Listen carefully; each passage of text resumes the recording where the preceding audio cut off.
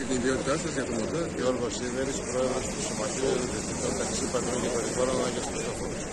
Ωραία, τι κάνετε εδώ σήμερα; Εδώ σήμερα ήρθαμε μαζί με άλλους φορείς, με τον Δικηγορικό Σύλλογο, τον Εμπορικό Σύλλογο και την τοπική μας Ομοσπονδία του Ορεσνά, να παραδώσουμε ένα ψήφισμα διαμαρτυρίας στην αποκεντρωμένη διοίκηση για το φορολογικό νομοσχέδιο το οποίο αν περάσει όπως το έχουμε δει και είναι στη δημοσιότητα για μας σαν ταξί είναι, μας οδηγεί στην οικονομική εξαρτήωση και στην εξόντωσή μας.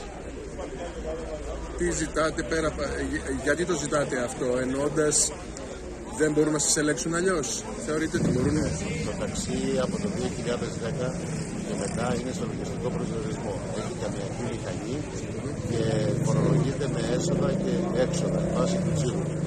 Συν αυτό έχει και τα 650 ευρώ που πληρώνει το φόρο του επιτέρματος. Έρχεται σήμερα λοιπόν η κυβέρνηση, μας αποκαλεί φοροφυγάδες που δεν το δεχόμαστε με τίποτα και μας βάζει τεκμαρτό εισόδημα, καθαρό εισόδημα 14.000 με τι τηλετίε που περισσότεροι συνάδελφοι έχουν τις τηλετίε με 14.000 καθαρό εισόδημα το χρόνο εκτός από το τι έσοδα έξοδα θα έχουν.